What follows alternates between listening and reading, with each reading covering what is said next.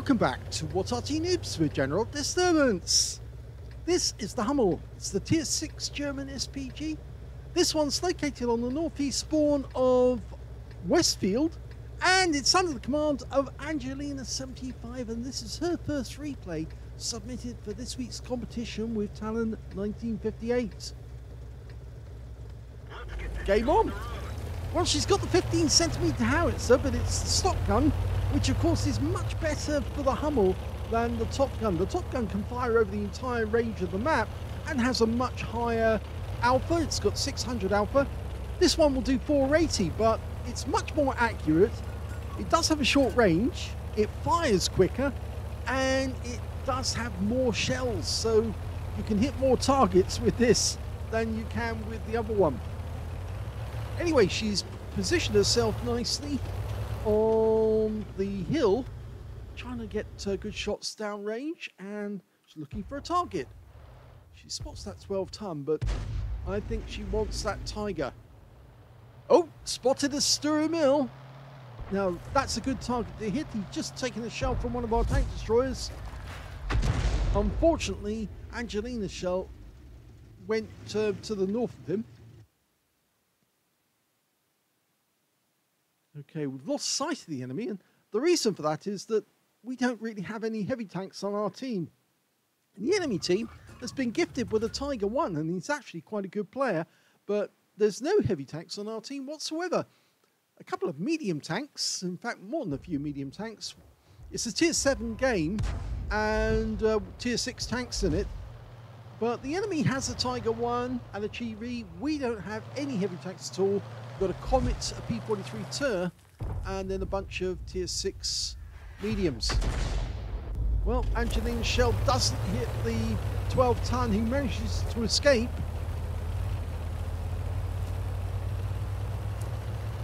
Okay, changing position just in case the enemy RT spotted where she is. There's two enemy RT M44s, so both of them can fire over the entire range of the map, but Angelina's kind of restricted. Now, the enemy just lost their EBR Hotchkiss, which is good news. So he's not going to be able to bother Angelina, but we still can't see the enemy tanks. Not good. Yeah, she's telling the, or somebody on the team is telling them to spot. In fact, it's the other arty on our team, the M44. And suddenly the Striv 74 comes into view. Angelina fires. Oh, and that's a hit. She only got 208 hit points of damage, but the Striv suffered a massive amount of damage very quickly. He's not a happy bunny right now.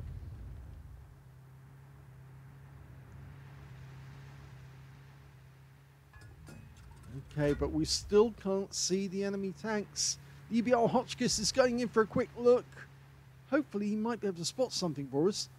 The big worry for the EBR is that Sturer Emil might get him. In the meantime, the Tiger 1's been spotted. He's down by the valley. He moved all the way from the heavy tank area and went down to the valley side.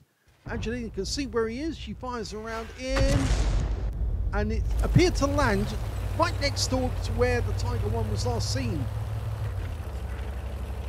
In fact, uh, I'm afraid the the recriminations have already started because even though they're only one tank down on the enemy, uh, they're saying, you know, this is uh, not a good team, or rather they're saying good team this, and they're being sarcastic because apparently most of the tanks on our team are actually hiding from the enemy. Okay, Tiger 1 rounds out. He pulls back a little, but Angelina's shell finds him. 133 hit points from that one. There's the Sturer Emil. My damn, he pulled a long way back. In fact, the enemy team went defensive as well. Okay, so we're aiming for the Sturer Emil. If we can penetrate this guy, we'll get a lot of damage off him. 480 Alpha, 38 millimeter pen, and that's a direct hit.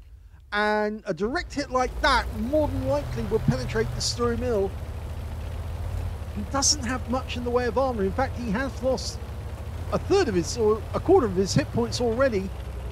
And Angelina's, well, she's moving up the side of the map, or the north end of the map. Okay, we can see a SU-100 right at the end of the village. Angelina's trying to find a target she can shoot at. Most of them are too far away for her to get a good, decent shot on. Goes for the SU-100. Oh, that was Splash.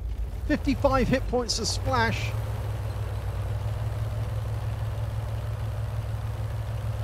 That SU-100 is coming in this direction, although he's got to get through an 88 to get here and an SMVCC 56. That will probably persuade him to go elsewhere. We're now two tanks down on the enemy. There's the SU-100. Just took a hit. Rounds out.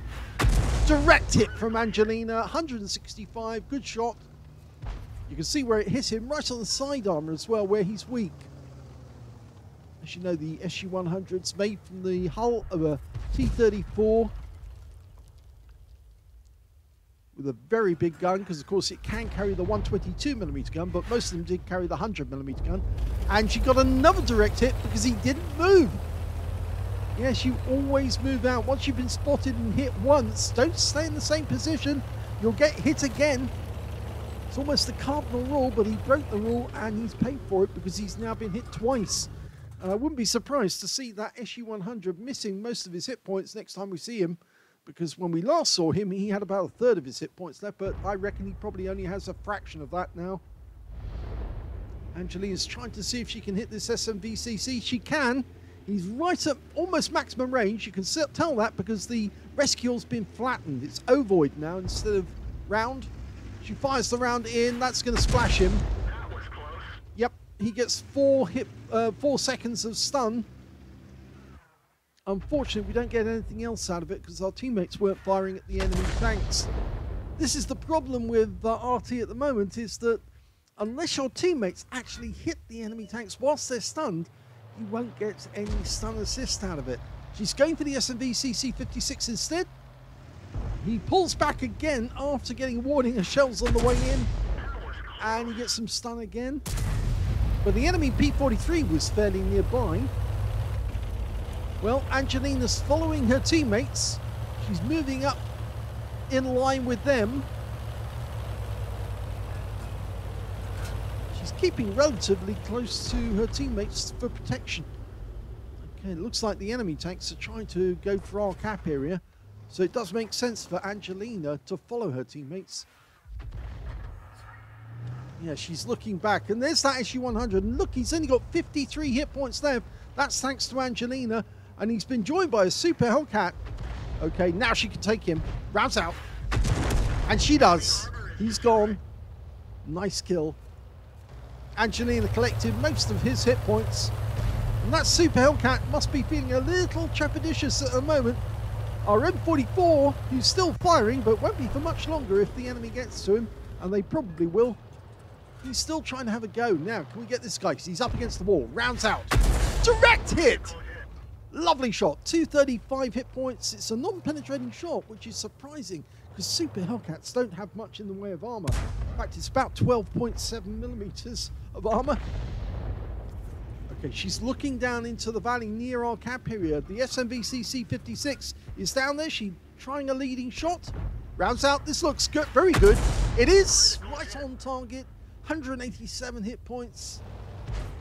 Unfortunately, the Tiger 1 is getting very close to us. Not so close that they can see us at the moment. But if he does spot us, we're going to be in trouble. In fact, now we're so far down on the enemy, I don't think they're going to win this one. But at least Angelina gets another kill on the Super Hellcat this time. Yes, I don't think she's going to survive.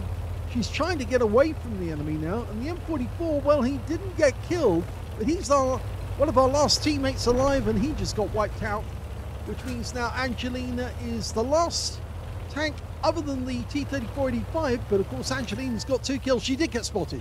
Somebody up ahead, I think. I don't think it's the guys behind her who spotted her. I think it's somewhere up front. I'm wondering if it's the one of the enemy arty actually that may have spotted her. Well, I'm more than likely the enemy tanks are going to be heading this direction very shortly. One of the enemies capping. And, oh, yes, we were still spotted. And I think it was the enemy arty that spotted us. Because that shell just came in uh, from the enemy M44. The Sturer Emil's very close. There he is. Angelina can get him. She can damage him. Pretty sure she... Yes, she did fire at him before. Lining up the shot. Fires in. Oh, big hit! That's a penetrating shot for 485, but it didn't kill him. She did fire at him before, and that's the end of Angelina's game, but she put up a great fight there. Here's the end of battle results, and that was the third class tanker to Angelina 75 in the Hummel. She managed to get a bruise medal for getting at least five critical hits. In fact, she got 11, and she got a WN8 of 3,801, which is Super Unicum standard. And boy, did she fight well in this game, but sadly, that's not enough to beat Talon, who got a first class bruiser and a Confederate. That's the lead at the moment. So unfortunately, this means that he still keeps the lead, and Angelina's going to have to send in another replay if she's going to beat him. So we'll have to wait and see what happens. Let's have a look at team score. Oh my gum, she did get a lot of damage. Look at that 2,107 hit points. She got the highest damage in the game, but she didn't get the high caliber because she didn't get 20% of the enemy hit pool. That was excellent. The second highest damage in that game turned out to be a T-3485 on our team with 1,641. And the third highest damage turned out to be the Tiger 1 on the enemy team with 1,615 hit points. When it came to kills, it was the Type 64 on our team who did the best with the... He got an Orlik's medal, Naidin's medal, so he must have killed all the enemy light tanks in that game, at least three. And um, they must have been higher tier than him as well to get the uh, Orlik's medal um, because uh, he shared that top score with the SMV CC56 on the enemy team, who also got three kills. But uh, very well done to the Type 64 for doing that that well. Uh, unfortunately, it wasn't enough because he didn't get enough in the way of hit points. So I suspect that a lot of the damage was done by his teammates, and he was just finishing off the enemy tanks as and when he saw them go before him. But uh, certainly very good to actually get the light tanks out of the enemy team. Uh, the joint second place, actually, Angelina with two kills and the Tiger 1 and Sturer Emil and the Super Hellcat and their Striv 74. The Striv 74 got a Lehvaslaiho's medal because he killed two enemy tanks or tank destroyers in a battle with a medium tank, at least one tier higher than himself. So very well done to him as well. When it came to base XP, yep, it's the uh, enemy team. The SMV CC56 managed 892, Tiger 1 724, 714 went to the Sturer Emil. Mill, and Angelina came in on second place on her team but she was way down on the enemy team because, of course, uh, most of the enemy team were above her. 10 tanks on the enemy team, one on her own, which actually puts her in 12th place when it comes to uh, base XP. So, yeah, not so great, but there again, she did put up a great fight. And look at that score. That's definitely the, uh, the highlight. To get 2,107 hit points of damage, even though she was on the losing team, she was definitely their best performer.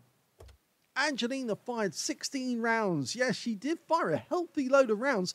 Eight direct hits on the enemy, one penetrating shot. Now, I think that penetrating shot was the one right at the end on the Sturer Emil. 14 splash, damage of 2,107, of which 1,622 were at more than 300 meters. So there was some close range shots, and I think again that was on the Sturer Emil, who was very, very close when he she got taken out. She did receive one hit. It was a penetration and two hits by way of splash from the enemy RT. Uh, the, the penetrating shot came from the Tiger 1, who took her out in the end. Six enemy vehicles were damaged, two were killed, and she also got 12 stuns on the enemy, but no stun assist, and that's why she didn't get anything better than third class. If she got some stun assist in this game, I suspect she probably would have got at least a first class tanker, and her base XP probably would have been enough to beat Talon as well. So I think, but for the fact that her teammates weren't shooting the tanks that she was stunning, she ended up getting a, a, replay where, unfortunately, the team lost and she didn't end up with enough stun assist. So she earned 37,176 credits on a premium count for the battle, and after repair and ammunition resupply, took away 26,923 credits profit, 678 XP for the battle, and no multipliers, so that's all the experience points she took away. Now, the highlight of that one was she actually did hit that Sturer Emil twice. One of those, if you remember, was a blind shot. That was, um, uh, but we didn't actually see exactly how much damage she did. But we do know that she hit him, I think it was for 400, was it 420 or 480 in the second shot. So she did get a blind hit, a sizable blind hit on him in the interim period. Um, the, the one that uh, we didn't see, w- which we thought might be a penetrating shot because Mills don't have good armor. And um, so she did do some damage to him and penetrated him with the, the subsequent shot. So great game by Angelina. Sad that it's not enough for her to actually get uh, the lead, but uh, I'm sure she might come up with something because she has been able to get ace tankers before. Um, so she might get something before Sunday morning to uh, to find out if she can get the weekend lion. After all, Talon got it last week, and I think she would rather like it this week. If you enjoyed that replay, please give this video a like. Do subscribe to our channel. Leave a little comment down below because it feeds the algorithm. And thank you for watching.